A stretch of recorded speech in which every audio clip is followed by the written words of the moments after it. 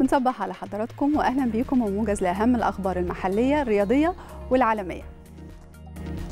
وخلونا نبدأ نشرتنا الرياضية مع مارسيل كولر المدير الفني للنادي الأهلي اللي بيحاول يبحث مع جهازه المعاون جمع أكبر عدد من المعلومات عن فريق الإسماعيلي قبل المباراة اللي هتجمع الفرقتين بكرة على استاد برج العرب ضمن منافسات الجولة الأولى من مسابقة الدوري المصري.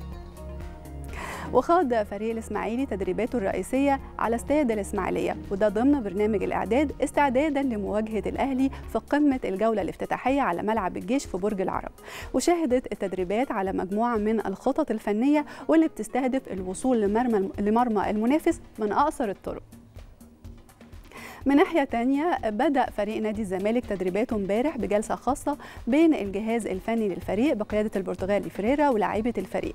وشهد الاجتماع حديث فريرا عن أهمية مباراة سموحة خصوصا إنها انطلاقة الفريق في مسابقة الدوري الممتاز.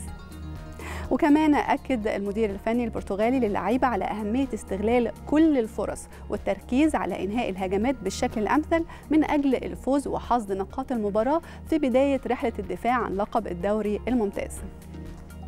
منتخب مصر للشباب بقيادة محمود جابر استقبل عرض من نظيره الأوزبكستاني لخوض مباراتين وديتين في شهر نوفمبر اللي جاي وده في ضوء تحضيرات منتخب أوزبكستان لبطولة آسيا للشباب وتحضيرات منتخب الشباب المصري لنهائيات بطولة أمم أفريقيا في شهر فبراير اللي جاي. في الدوري الإيطالي حقق فريق في الدوري الإيطالي حقق فريق روما فوز صعب على فريق سامبدوريا بنتيجة 1-0 خلال المباراة اللي جمعت الفرقتين ضمن منافسات الجولة العاشرة من مسابقة الدوري الإيطالي. بالنتيجة دي قفز فريق روما للمركز الرابع في جدول ترتيب الدوري الإيطالي برصيد 22 نقطة وسامبدوريا في المركز الأخير برصيد 3 نقط. أليجري مدرب يوفنتوس الإيطالي استقبل دفعة قوية بخصوص حالة النجم الفرنسي بول بوجبا وده بعد الإصابة اللي سبق وتعرض لها قبل بداية الموسم اللي جاري وأكدت تقارير إيطالية أن بوجبا بيخوض المرحلة الأخيرة من عملية التعافي الكاملة من إصابته وهيرجع لتدريبات يوفنتوس يوم الاثنين اللي جاي. وهيظهر أمام بنفيكا في الجولة الخامسة لدور المجموعات بدوري أبطال أوروبا يوم 25 أكتوبر. أعلن نادي بايرن ميونخ الألماني أن ساني تعرض لإصابة قوية أثناء مباراة الفريق قدام فايربرغ في إطار الجولة العاشرة من الدوري الألماني.